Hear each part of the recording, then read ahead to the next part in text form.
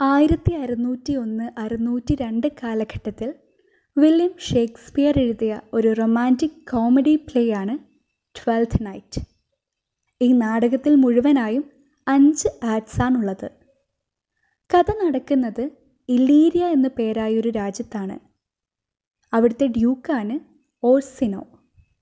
നാടകം തുടങ്ങുമ്പോൾ ഓർസിനോ ഒരു പ്രണയഗാനം കേട്ട് അതിൽ അലിഞ്ഞിരിക്കുകയാണ് താൻ സ്നേഹിക്കുന്ന യുവതിയായ അതിസുന്ദരിയായ ഒലീവയെ ഓർത്തുകൊണ്ട് ഓർസിനോ പ്രണയഗാനത്തിൽ മുഴുകുന്നു.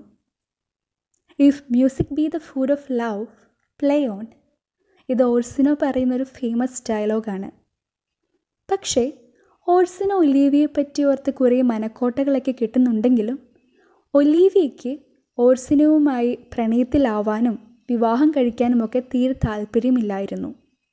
കാരണം ആ അടുത്തിടെ ഒലീവയുടെ സഹോദരൻ മരിച്ചുപോയ വിഷമത്തിലാണവൾ. അതിനാൽ ഉടനൊരു വിവാഹം കഴിക്കാനോ പ്രണയിക്കാനോ ഒലീവയ്ക്ക് തീരെ താല്പര്യമുണ്ടായിരുന്നില്ല ഒപ്പം ഓർസിന് അയക്കുന്ന ആളുകളെയും മറ്റും അവൾ തന്റെ അടുത്തേക്ക് കാണാനും സംസാരിക്കാനുമായി അടുപ്പിച്ചിരുന്നുമില്ല. അപ്പോൾ സ്വാഭാവികമായും ഒലീവിയ തന്റെ പ്രണയത്തെ അംഗീകരിക്കാത്തതിന്റെയും തന്നെ തിരിച്ചു പ്രണയിക്കാത്തതിന്റെയും ഒക്കെ വിഷമത്തിലാണ് ഓർസിനോ. ഇതേ സമയം തന്നെ മറ്റൊരിടത്ത് വേറെ കുറച്ച് കാര്യങ്ങൾ നടക്കുന്നുണ്ട്. അതായത് വയോളയും അവളുടെ ഇരട്ട സഹോദരനായ സെബാസ്റ്റ്യനും ഒരു കപ്പൽ യാത്രയിലായിരുന്നു. പക്ഷെ തികച്ചും അപ്രതീക്ഷിതമായി അവർ സഞ്ചരിച്ചുകൊണ്ടിരുന്ന കപ്പൽ ഒരു അപകടത്തിൽപ്പെടുകയും സെബാസ്റ്റ്യൻ വെള്ളത്തിൽ മുങ്ങിപ്പോവുകയും ചെയ്യുന്നു. വയോള ഒരു വിധത്തിൽ രക്ഷപ്പെട്ട് തൊട്ടടുത്തുള്ള ഇല്ലീരി എന്ന രാജ്യത്ത് എത്തിച്ചേരുന്നു. തന്റെ സഹോദരനെ കാണാത്ത വിഷമത്തിൽ അവൾ ആകെ തളരുന്നു. ഒപ്പം ഇനി എങ്ങനെ ജീവിക്കും എന്ത് ചെയ്യും എവിടെ പോകും എന്നൊന്നും അറിയാതെ അവൾ വിഷമത്തിലുമാവുന്നു. എന്നാൽ അവളെ ഇല്ലീരിയയിൽ എത്തിക്കാൻ സഹായിച്ച ക്യാപ്റ്റൻ അവളോട് ഇത് ഇലീരിയ എന്ന രാജ്യമാണെന്നും ഇവിടുത്തെ ഡ്യൂക്ക് ഓഴ്സിനോ എന്നൊരാളാണെന്നും ഒപ്പം അദ്ദേഹം ഒരു അവിവാഹിതനും കൂടാതെ നീയൊരു സ്ത്രീയുമായതിനാൽ അദ്ദേഹത്തിന്റെ കോട്ടിൽ ഒരു ജോലി കിട്ടണമെങ്കിൽ ഏറ്റവും നല്ലത് നീ ഒരു ആണായി വേഷം കിട്ടുന്നതാണ്. അതാണ് ഉചിതമെന്നൊക്കെ പറയുന്നു. അങ്ങനെ ക്യാപ്റ്റൻ പറഞ്ഞതനുസരിച്ച് തനിക്കൊരു നല്ല ജോലി കിട്ടുന്നതിനും പാർപ്പിടം ലഭിക്കുന്നതിനും ഒപ്പം തന്റെ സുരക്ഷയ്ക്കും ഒക്കെയായി വയോല സിസേറിയോ എന്നൊരു വ്യാജ പേര് സ്വീകരിച്ച് ആണിനെ പോലെ വസ്ത്രം ധരിച്ച് ഓർസിനോയുടെ കോട്ടിലെത്തുന്നു. സിസേറിയോയുടെ ചടുലതയും സാമർഥ്യവും കഴിവും ഒക്കെ കണ്ട് ഓർസിനോ സിസേറിയോയ്ക്ക് നല്ലൊരു ജോലി കൊടുക്കുന്നു. ഒപ്പം വളരെ വേഗം തന്നെ അവർ അടുപ്പത്തിലുമാകുന്നു അതായത് ഓർസിനോ തന്റെ ഒട്ടുമിക്ക ആവശ്യങ്ങൾക്കും സിസേറിയോയാണ് ഇപ്പോൾ ആശ്രയിക്കുന്നത്. അതിനാൽ തന്നെയും സിസേറിയോ എന്ന ആണായി വേഷം കെട്ടിരിക്കുന്ന വയോളയ്ക്ക് ഓർസിനോയോട് പതിയെ പതിയെ പ്രണയം തോന്നി തുടങ്ങുകയും അത് മൂർധാവിലെത്തുകയും ചെയ്യുന്നു. പക്ഷേ ആണായി വേഷം കെട്ടിയിരിക്കുന്നതിനാൽ വയോളയ്ക്ക് അവളുടെ പ്രണയം ഓർസിനോയോട് പ്രകടിപ്പിക്കാൻ കഴിയുന്നില്ല. ഇക്കാരണത്താൽ തന്റെ വേഷം മാറലിനെ അവൾ ആദ്യമായി വെറുക്കുന്നു. കുറച്ച് ദിവസങ്ങൾ കഴിയുമ്പോൾ ഓർസിനോ ഒരാവശ്യവുമായി സുസേറിയോടെ അടുത്ത് വരുന്നു. അതായത് ഓർസിനോ ഒലീവി എന്നൊരാളെ സ്നേഹിക്കുന്നുണ്ടെന്നും തനിക്കിത് അവളെ എങ്ങനെയെങ്കിലും അറിയിക്കണമെന്നും പക്ഷെ ഒലീവിയ താൻ അയക്കുന്ന ആരെയും കാണാൻ കൂട്ടാക്കുന്നില്ല എന്നും അതിനാൽ സിസേറിയോ ഒന്ന് പോയി ഒലീവിയെ കാണാൻ ശ്രമിക്കണമെന്നും അങ്ങനെ തന്റെ ഇഷ്ടം അവളെ അറിയിക്കണമെന്നും ഒക്കെയായിരുന്നു ഓർസിനോയുടെ ആവശ്യം. തീരെ താല്പര്യമില്ലെങ്കിൽ കൂടി ഓർസിനോ പറഞ്ഞതനുസരിച്ച് സിസേറിയോ ഒലീവിയെ കാണാനായി ഒലീവിയുടെ വീട്ടിലേക്ക് പോകുന്നു. പിന്നീട് അവൾ അവിടെ വെച്ച് ഒലീവിയെ കണ്ടുമുട്ടുകയും സംസാരിക്കുകയും ഓർസിനോ കൊടുത്ത കത്ത് ഒലീവിയയ്ക്ക് കൈമാറുകയും ഒക്കെ ചെയ്യുന്നു.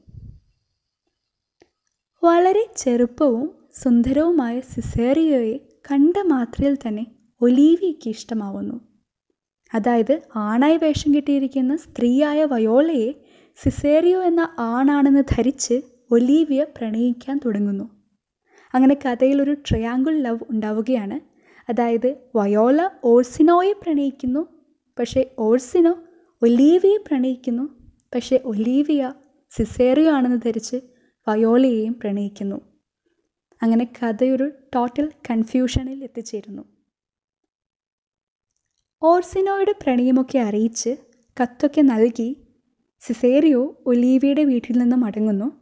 ഒപ്പം ഒലീവിയ ഇനിയും എന്നെ കാണാൻ വരണമെന്നൊക്കെ സിസേറിയോയോട് പറയുകയും ചെയ്യുന്നു. ഒലീവിയുടെ വീട്ടിൽ അവിടെ താമസിക്കുന്നവരാണ് അവളുടെ അങ്കിളായ സർ ടോബി. ഒപ്പം ഒരു സുഹൃത്തായ സർ ആൻഡ്രൂ അവരുടെ വീട്ടിലെ എല്ലാ കാര്യങ്ങളും നോക്കി നടത്തുന്ന മരിയ ഒപ്പം വിഡ്ഢിയായ മാൽവോളിയോയും. സർ ടോബി സർ ആൻഡ്രൂ എന്നിവർ കള്ളൊക്കെ കുടിച്ച് ഒട്ടുമിക്ക സമയവും ഉന്മത്തരാണ്. മരിയ ബുദ്ധിമതിയും കൗശലക്കാരിയുമായ സെർവന്റാണ് മാൽവോളിയോ ഒലീവി ഒലീവിയെ പ്രണയിക്കുന്നുണ്ട്. ഒപ്പം ഒലീവിയയ്ക്കും തന്നെ ഇഷ്ടമാണെന്നൊക്കെ ചുമ്മാ സ്വയം വിചാരിച്ചിരിക്കുന്നുമുണ്ട്. ബുദ്ധിശൂന്യനായതിനാൽ ആർക്കും തന്നെ വളരെ എളുപ്പത്തിൽ മാൽവോളിയെ പറ്റിക്കാൻ സാധിക്കും. അവന്റെ ഈ മണ്ടത്തരങ്ങളൊക്കെ കാരണം അവിടെയുള്ള സർ ടോബിക്കും സർ ആൻഡ്രുവിനും മരിയയ്ക്കുമൊന്നും മാൽവോളിയെ തീരെ ഇഷ്ടവുമല്ല. അതിനാൽ അവർ മൂന്ന് പേരും കൂടി മാൽവോളിയയ്ക്കൊരു പണി കൊടുക്കുന്നു. അതായത് മരിയ ഒലീവിയയുടെ ഹാൻഡ് റൈറ്റിങ്ങിൽ മാൽവോളിയയ്ക്കൊരു പ്രണയലേഖനം എഴുതും. ആ കത്തിൽ എനിക്ക് നിന്നെ ഭയങ്കര ഇഷ്ടമാണെന്നും ഞാൻ എന്ത് ചെയ്താലും നീ മറുത്തൊന്നും പറയരുതെന്നും ഞാൻ വഴക്കു പറഞ്ഞാൽ പോലും നീ സന്തോഷത്തോടെ സ്വീകരിക്കണമെന്നും ഒപ്പം എന്നെ കാണാനായി വരുമ്പോൾ മഞ്ഞ നിറത്തിൽ കറുത്ത വരകളുള്ള വസ്ത്രം ധരിക്കണമെന്നുമൊക്കെ മരിയ ഒലീവിയുടെ എന്ന പേരിൽ ആ കത്തിൽ എഴുതിയിട്ടുണ്ടാവും. ഒപ്പം സർ ടോബി മാൽവോളിയോയെ നന്നായി മദ്യം കുടിപ്പിച്ച് ഉന്മത്തനുമാക്കിയിട്ടുണ്ടാവും അങ്ങനെ മദ്യലഹരിയിൽ ഒലീവിയുടെ എന്ന പേരിൽ ലഭിച്ച കത്ത് വായിച്ച് മാൽവോളിയോ സന്തോഷം കൊണ്ട് തുള്ളിച്ചാടുന്നു. ഒപ്പം കത്തിൽ പറഞ്ഞതുപോലെ തന്നെ മഞ്ഞം നിറമുള്ള ഒരു വെട്ടി കുപ്പായമൊക്കെ ഇട്ട് അവൻ ഒലീവിയുടെ അടുത്തേക്ക് പോകുന്നു. എന്നിട്ട് അവിടെ വെച്ച് പരസ്പര ബന്ധമൊന്നുമില്ലാത്ത കുറേ കാര്യങ്ങൾ ഒലീവിയോട് പറയുന്നു. പക്ഷെ അവന്റെ വാക്കുകളും ചേഷ്ടകളും ഒക്കെ കണ്ടും കേട്ടും ഒലീവിയയ്ക്ക് നല്ല ദേഷ്യം പിടിക്കുന്നു. പക്ഷെ ഒലീവിയുടെ ദേഷ്യമൊക്കെ കണ്ടിട്ടും വിഡ്ഢിയായ മാൽവോളിയോ കത്തിൽ പറഞ്ഞതനുസരിച്ച് എല്ലാം സന്തോഷത്തോടെ ഏറ്റെടുക്കുന്നു. ഒടുവിൽ ദേഷ്യം സഹിക്കെട്ടപ്പോൾ ഒലീവിയ മാൽവോളിയോയെ പിടിച്ച് തുറങ്കിൽ അടയ്ക്കാനായി പറയുന്നു. അങ്ങനെ അവൻ തുറങ്കിൽ അടയ്ക്കപ്പെടുന്നു. പക്ഷെ കാര്യങ്ങളൊക്കെ ഇതുവരെ ആയിട്ടും സത്യത്തിൽ എന്താണ് ഉണ്ടായതെന്ന് അവന് മാത്രം മനസ്സിലാവുന്നില്ല. ഒലീവിയ എല്ലാം ഒരു തമാശയ്ക്ക് ചെയ്തതാണെന്ന് അവൻ വിശ്വസിക്കുന്നു. അങ്ങനെ വിഡ്ഢിയായ മാൽവോളിയോ ഒലീവിയെ വല്ലാതെ ദേഷ്യം പിടിപ്പിച്ച് ഇറിറ്റേറ്റ് ചെയ്ത് സ്വയം തുറങ്കിലാവുന്നു. ഇതേ സമയം തന്നെ അന്റോണിയോ എന്നൊരു ക്യാപ്റ്റന്റെ സഹായത്താൽ വയോളയുടെ ഇരട്ട സഹോദരനായ സെബാസ്റ്റ്യൻ ഇല്ലീരയിലെത്തുന്നു പക്ഷെ ക്യാപ്റ്റൻ അന്റോണിയോ ഇല്ലീരയിൽ പ്രവേശിക്കുന്നില്ല. കാരണം കുറേ കാലങ്ങൾക്ക് മുമ്പ് അന്റോണിയോയും ഡ്യൂക്കുമായി കുറച്ച് പ്രശ്നങ്ങൾ നടന്നിരുന്നു. അതിനാൽ അന്റോണി ഇല്ലീരയിലേക്ക് വീണ്ടും വരാനായി ആഗ്രഹിച്ചിരുന്നില്ല. പക്ഷെ നല്ലവനായ ക്യാപ്റ്റൻ സെബാസ്റ്റ്യനെ രക്ഷിച്ച് ഒത്തിരി സ്നേഹത്തോടെയും കരുതലോടെയും ഒക്കെ ഇല്ലീരയിൽ എത്തിക്കുന്നു അങ്ങനെ സെബാസ്റ്റ്യൻ ഇല്ലീരയിലൂടെ സഞ്ചരിക്കുന്നു.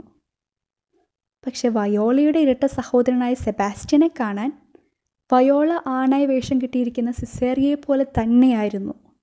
അപ്പോൾ സ്വാഭാവികമായും സെബാസ്റ്റ്യനെ കാണുന്നവരൊക്കെ സിസേറിയോ ആണെന്ന് തെറ്റിദ്ധരിച്ച് കുറേ അബദ്ധങ്ങളൊക്കെ കാണിക്കുന്നുണ്ട്.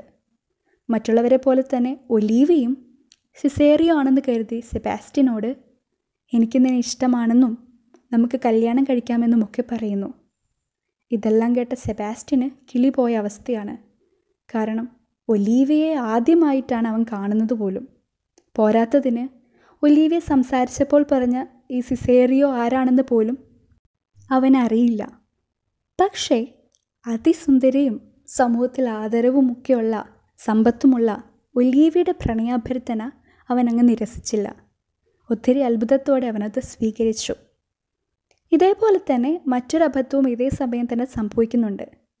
അതായത് ക്യാപ്റ്റൻ അന്റോണിയോ ഇല്ലീരയിൽ എത്തിയതറിഞ്ഞത് അറിഞ്ഞ് അവൻ അറസ്റ്റിലാക്കപ്പെട്ട് അവനെ നിയമസംരക്ഷകർ ഡ്യൂക്ക് ഓഫ് ഇല്ലീരിയ അതായത് ഓർസിനോയുടെ അടുത്തേക്ക് എത്തിക്കുന്നുണ്ട്.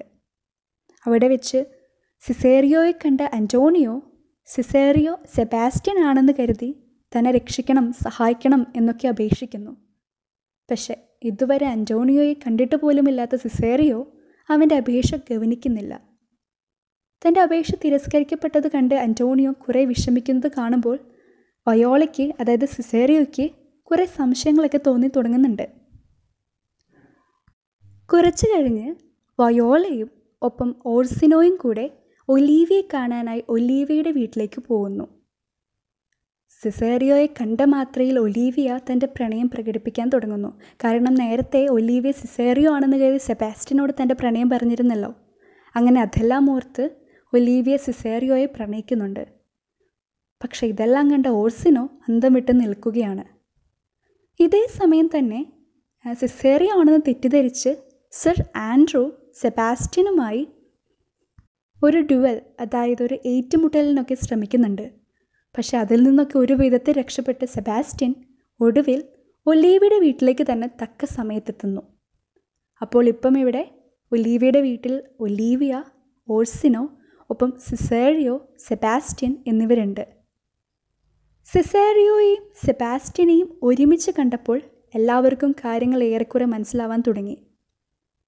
മരിച്ചുപോയി എന്ന് താൻ കരുതിയ തന്റെ സഹോദരൻ ജീവനോടെ ഇരിക്കുന്നുവെന്ന് മനസ്സിലാക്കിയ വയോള അതീവ സന്തോഷത്താൽ സെബാസ്റ്റിനെ ആലിംഗനം ചെയ്യുന്നു. ഒപ്പം താൻ യഥാർത്ഥത്തിൽ സിസേറിയോ അല്ലെന്നും വയോളയാണെന്നും ഒപ്പം താൻ വേഷം മാറിയതിന്റെ പിന്നിലെ കാരണങ്ങളും എല്ലാവരോടുമായി അവൾ പറയുന്നു. കൂടാതെ തന്റെ പ്രണയം ഓഴ്സിനോയെയും അറിയിക്കുന്നു. അങ്ങനെ ഓഴ്സിനോയും വയോളയും വിവാഹം കഴിക്കുന്നു. ഒപ്പം സെബാസ്റ്റ്യനും ഒലീവിയും വിവാഹം കഴിക്കുന്നു. കൂടാതെ സെറ്റ് ടോബിയും മരിയയും വിവാഹം കഴിക്കുന്നു. പക്ഷെ ഇതൊന്നും അറിയാതെ തന്നെ എല്ലാവരും കൂടെ തന്നെ കളിപ്പിച്ചതോർത്ത് മാൽവോളിയോ മാത്രം വിഷമിച്ചിരിക്കുന്നു. അതോടെ നാടകം അവസാനിക്കുന്നു.